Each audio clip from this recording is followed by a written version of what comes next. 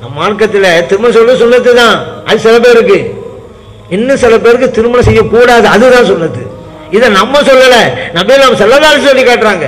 யா மாஷர ஷபாப் வாலிப சமுதாயமே மனிஸ்ததா மின்குமுல் பாஆ ஃபல்யதஸவஜ். மனைவிக்கு உணவும் உடையும் கொடுக்க முடியும் என்றிருந்தால் நீங்க திருமணம் செஞ்சுக்கிறீங்க.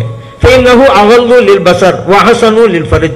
காரணம் அது பார்வையை தாழ்த்தும் கற்பை பாதுகாக்கும். அப்புறம் சொல்றேன் வமல்லம் எஸ்தத்தி மனைவிக்கு உணவு உடையெல்லாம் கொடுக்க வசதி இல்லை. அப்படி நிலம் உங்களுக்கு இருக்குதா? ஒரு மனிதன் ஆசையும் இருக்கும்ல. அப்ப ஆசை எப்படி தனித்து கொள்றது?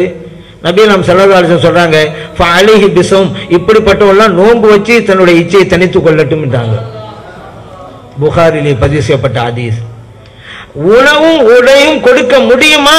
திருமணம் உனக்கு சொன்னது. உனக்கு மனைவி மக்களுக்கு வந்து உன்னால் கொடுக்க முடியாது. உணவுடைக்கு அந்த வசதி இல்லை. திருமணம் செய்து கொள்ளாமல் இருப்பது தான் உனக்கு சொன்னது.